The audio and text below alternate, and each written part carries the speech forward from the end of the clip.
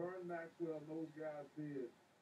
You know, sometimes they stood out there and shot threes, but they always kept moving. Oh no, was- sorry. was Hakeem was doing his, his thing.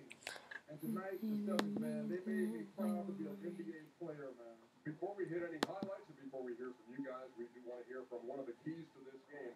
You heard from a couple of guys on the floor afterwards, but you cannot overstate the.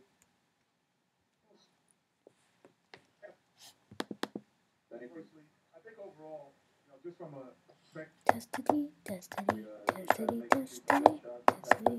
uh, not letting him get to the rim, just play physical. Uh, you know, I think we did. I think go get, go get. that fires everybody up. Charles and I talk about this all the time. I mean, that, Hold it one second, Brad Stevens. Live. Brad Let's go there. that. Kenny wrote at WHBC Sports. They were in control That's 77